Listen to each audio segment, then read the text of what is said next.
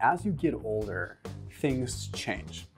There's definitely some correlation between getting older and becoming more insulin resistant. Now, it'd be easy to say this just simply has to do with the fact that your body has been bombarded with carbs and glucose for a lifetime. So you're just getting more resistant to it. In theory, that makes sense, and I'll explain why. Because in theory, yeah, essentially your body becomes insulin resistant because glucose sort of becomes like white noise, where the body just ends up seeing it so much that it starts kind of phasing out the insulin response to it. Or sometimes the body becomes so used to seeing insulin levels high all the time it becomes resistant to it. So bottom line is that that theory makes sense, but there's a deeper underlying issue and that is probably something called mitochondrial dysfunction. And there's some very interesting data to back it up, but also some potential things that you can do to course correct. Because as we get older, this does seem to be really one of the key indicators of insulin resistance. So let's dive into this. After today's video, there is a special link down below to save 20% off Lakanto. Now, Lakanto has a bunch of different options, but what Lakanto is, is a monk fruit company. They have a really cool technology where they have erythritol grains that are spray coated in monk fruit. So a lot of times if you go to get monk fruit, you're gonna end up with some random sized grains of erythritol, then a random sized grain of monk fruit, and it's all mixed together and it's very just unbalanced, which makes it really, really difficult to get good flavor when you're baking. So that's where Lakanto really comes into play. But they also have liquid monk fruit, they have brownie mix, they have all kinds of really cool things. They even have low carb, sugar free cookies now that are all made with almond flour, made with Lakanto, made with the monk fruit. So if you're really trying to watch your carbohydrate intake, I definitely recommend you check them out. When it comes to baking, they are second to none. They are the best, hands down, and they are also really the first to market. They're really the thought leaders when it comes down to the whole monk fruit movement, at least here in the United States. So that link is down below. Again, you can save 20% off if you use that link and that code. It's a special discount just for people that watch my videos. So make sure you check them out and take advantage of some of their awesome stuff on their website down below after this video. So there's a study that was published in the journal Science, and it found that insulin resistance became more prevalent as we get older. Okay, but what else did it find? Well, it found in older people, okay, when they were insulin resistant, they had a 40% reduction in oxidative and phosphorylation capacity of their mitochondria. Now, what does that mean in a human term? So the mitochondria is where we process fuel, where we turn fuel into energy, okay? We have two real problems with insulin resistance. One, the cells don't necessarily use the glucose because the insulin isn't really working anymore, right? The other problem is if the glucose does get into the cell, the mitochondria needs to be able to handle it. So you see, we have two real problems here, and a lot of times we only focus on the first one because the mitochondrial efficiency piece is a more difficult conversation to have. But if you ask me, it's one of the most important rate limiting things that we need to talk about. If you're unable to actually process the glucose, let's say insulin is the doorman that opens the door into the cell.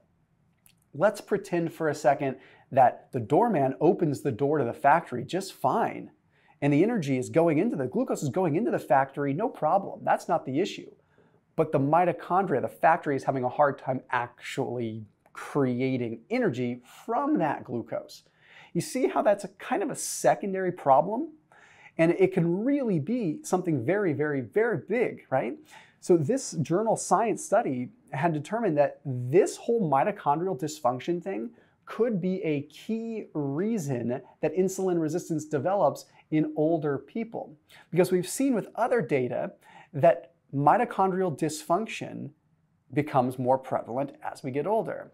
We have years of oxidative stress, we have years of cellular damage, we have years of mitochondrial DNA damage that just comes with life and comes with stress and comes with managing and utilizing fuel. Okay? So what do we do about this? Well, there's a couple of things we need to pay attention to. What we want to focus on is developing more mitochondria, okay?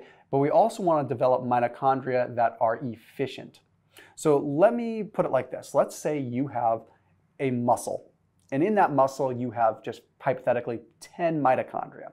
Well, those 10 mitochondria, you're dependent on those 10 mitochondria to take the glucose and oxidize it and utilize it, go through oxidative phosphorylation and create energy. Okay, if five of those mitochondria go by the wayside, they become damaged, you're left with only five. So what we need to do is get more mitochondria. That way, if you have 100 mitochondria and you lose five, you're only losing 5% of your energy factories. So how do we go through mitochondrial biogenesis? Well, these are things that I've talked about in my videos before. I've talked about methods like fasting. Okay, fasting can indirectly increase what's called PGC1A. PGC1A is what is going to allow for more mitochondria to form. Okay, so things like that are very, very important. And simply put, just doing like a few days a week where you skip breakfast, or a few days per week where you skip dinner, or maybe one day a week where you do a 20 or 24 hour fast, which sounds so not even fathomable, but once you do it, it absolutely is. And the potential benefit you get from it is huge. Another thing that people don't always like to talk about because there's so much nonsense on the internet saying that resistance training is the only way and that cardio is not good and cardio you're to store fat and all this. It's nonsense because cardio and aerobic activity is what is going to actually create more mitochondrial density. If you've ever seen what is called a type 1 muscle fiber versus a type 2 muscle fiber, a type 1 muscle fiber, which is used mainly in endurance and aerobic work, is dark red when you look at a cross-sectional area of it. It's dark red because it has more capillary density, more blood flow, and consequently more mitochondrial density. This is a very good thing. So what you always want, I've talked about this before, especially over age 40, is a balance of increasing the amount of muscle you have, so you have literally more space for mitochondria, and then altering it, doing the best that you can by doing more things like cardio that increase it. Another thing that is not talked about enough, and its importance for people that are over 40, is cold exposure. And I'm not talking every single day making it a morning routine like a lot of people talk about. I know Andrew Huberman talks about that. It, it, yes, that's great for routine and for the brain, but metabolically, you just need it a couple times per week. Okay, and even taking a cold shower for 10 minutes or so, a long cold shower, can get you a similar effect. You just need to get yourself cold so you're activating what's called brown fat thermogenesis. You're activating uncoupling proteins. What this does is it increases the mitochondria in an effort to create more energy, to create more heat. So your body says, we need more heat, let's create more mitochondria so we can create more heat. It becomes very, very, very, very important. Now, some of the things I also want to talk about. Inflammation as we get older plays a tremendous role. There is something called damage-associated molecular patterns that I talk about frequently on this channel. As we get older, we have more mitochondrial DNA damage, we have more cellular DNA damage, and those damaged particles instigate an immune system response. Okay? This immune system response elevates our inflammation. Okay? Inflammation and immune system go hand in hand, right? So we get older, we have more damaged proteins, more damaged cells equals more inflammation, right? One of the things that we have seen in the research is how inflammation acts as sort of this static that makes it so that the cell cannot receive a signal from insulin as well. It's called the insulin receptor substrate 1 and it's activated via what's called the JNK pathway, which is disrupted and activated ultimately by C-reactive protein, interleukin 6, and other inflammatory markers. Interestingly enough, there was a study published in Experimental Gerontology that demonstrated that simply resistance training could actually lower C-reactive protein. So just by nature of exercise itself, we can mitigate some of that inflammatory response that gets in the way of our bodies receiving a signal from insulin. It may sound negligible, but it's huge. So any other ways that you can modulate inflammation would be hugely beneficial. Turmeric is really widely known. Over 2,000 peer-reviewed studies have associated curcumin with a reduction in nuclear factor kappa B or other inflammatory signals or master regulators. This is huge, especially as we get older, right?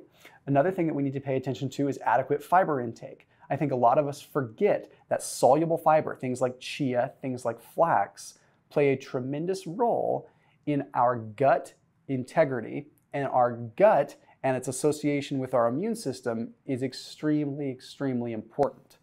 So if you do not have adequate amount of fiber and you do not have adequate amounts of gut flora or imbalanced gut flora, that is going to affect downstream what is called short chain fatty acid production, which directly has an impact on inflammatory signaling and just our immune system in general. So that's one way to sort of get our body in check to be able to manage that inflammation. So we look at all these pieces together and it's kind of like this metabolic circle of different things. Sure, how we eat, but more so about how we don't eat with implementing fasting. Periodic carbohydrate restriction, periodic resistance training, periodic aerobic training, periodic cold exposure and heat exposure, and then roping it all together with a balanced diet that has high amounts of protein and high amounts of fiber. So people just think, oh, it's all about reducing the carbohydrates. No, it's about increasing the ability for our factories to process energy first and then work backwards from there. So as always, keep it locked in here on my channel. I'll see you tomorrow.